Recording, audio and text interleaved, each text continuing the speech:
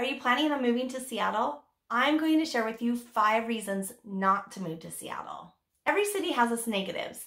If you are planning on moving to Seattle, I want to make sure that you know the not so good stuff as well. The first one is rain. Actually, it is mostly just gray skies. I think some other cities get more rain than we do, actually. We do have some days where we have downpours, and we have a few days in a row of gray skies and drizzle. The positive to the rain is that we have fresh, clean air most of the time. Our winter months can feel a bit long. You can go to work in the dark and come home in the dark. We only have daylight from about 7.30 a.m. until 4 p.m. in the dead of winter. But in the summer, it is light from 5.30 a.m. until about 10 p.m. When the sun's out, it feels like you're on vacation. The weather is a bit unpredictable in the summer. We are very good at layering. The weather people have a difficult time getting it right, so it is hard to plan for big events during the summer. Some days you'll have drizzly rain and other days beautiful sun. Number two is traffic. I have seen studies where Seattle is ranked the fifth worst, the seventh worst, and the 14th worst.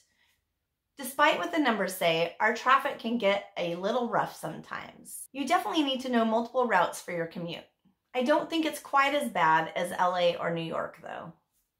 If you like what you're hearing so far, go hit the subscribe button and the little bell for notifications. That way you'll be notified of all my upcoming videos. Number three, the homelessness problem. We have definitely seen a rise in homelessness in Seattle and the surrounding cities. It's actually quite a mess. There's lots of tents and garbage and old motorhomes line the streets. It is a bit out of control in my opinion. The state is quite liberal when it comes to homelessness. It is very sad.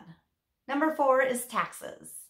Our taxes are quite high. Our sales tax is 10.2% right now, and our property taxes are quite high as well. They're approximately 1% of your assessed value. In Seattle proper, you're going to pay the highest taxes. On the positive side, we do not have a state personal income tax, and we do not have tax on groceries. Number five is our cost of living. Our cost of living is quite high compared to many states and cities. You can see cost of living specifics in my video posted above and in the comments below.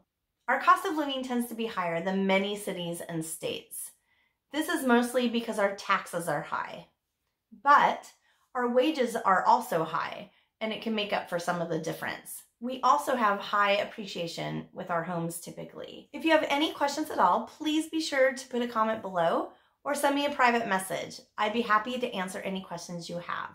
Thank you so much for watching, and I will see you next time.